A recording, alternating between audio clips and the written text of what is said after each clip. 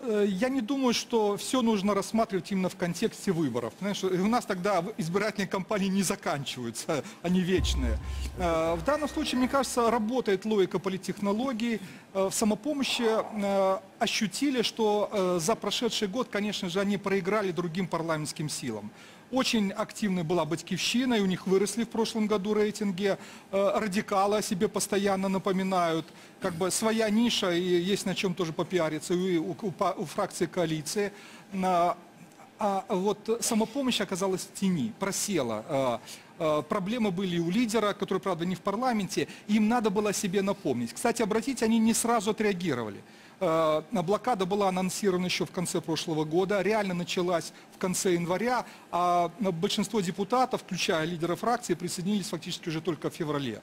Поэтому я думаю, что они просто для себя уловили шанс э, заявить о себе, показать себя. Сейчас это модно, каждый выбирает способ, как это сделать. А тут коллективная такая презентация. Но и э, это соответствовало их имиджу воинствующей патриотической силе. Сейчас они уже выступают не столько как э, партия и фракция среднего класса, как это было вот в 2014-2015 годах, а как партия такого воинствующего патриотизма.